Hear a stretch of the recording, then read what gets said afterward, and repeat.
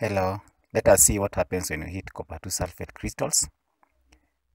Uh, let us see what will happen when we hit copper 2 sulfate crystals.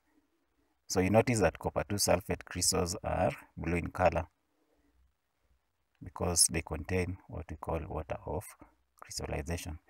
The water of crystallization also gives them shape. So let us see what happens when you hit them. So we are hitting them, of course, so that we can see what will happen eventually after the whole process has taken place.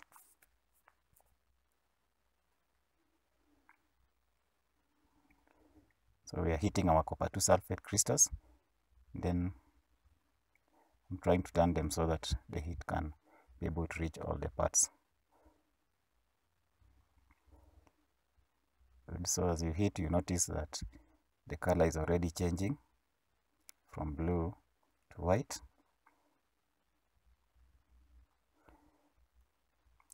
So actually what is happening is that our crystals are losing the water of crystallization. So we keep on heating them and see what will happen.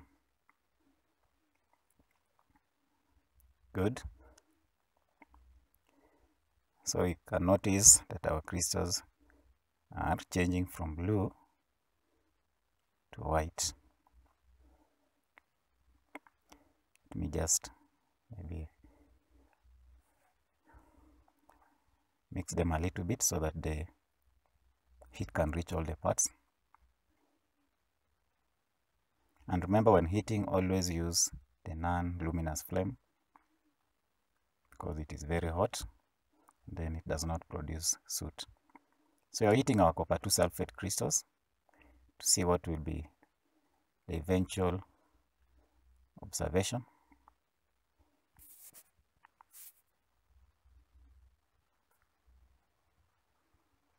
So keep on heating the copper 2 sulfate crystals and see what will happen. As you notice, they are changing from blue to white. And then apart from that, it's no longer crystals. If you notice clearly, right now we are forming what we call a powder.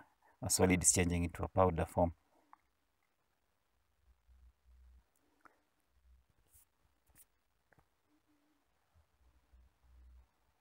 So you can notice that our solid is changing. It's becoming white. I'm trying to mix it a little bit so that the heat can reach all the parts of the solid. Good. So the solid is losing the water of crystallization. Our copper 2 sulfate crystals have lost their water of crystallization. They're forming a white powder. So the white powder that is being formed is what we call anhydrous copper 2 sulfate, which means now the solid does not contain water of crystallization. And apart from that, you notice now they are no longer crystals. Let us see what happens when you add water to our anhydrous copper 2 sulfate that was formed. So let us see what happens when you add water. So you notice the anhydrous copper 2 sulfate is white in color.